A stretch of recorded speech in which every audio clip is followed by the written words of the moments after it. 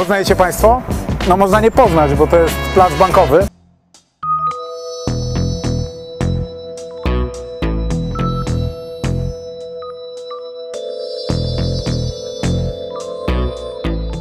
Wiesz, co robi ten miś? On odpowiada żywotnym potrzebom całego społeczeństwa. To jest miś na skalę naszych możliwości.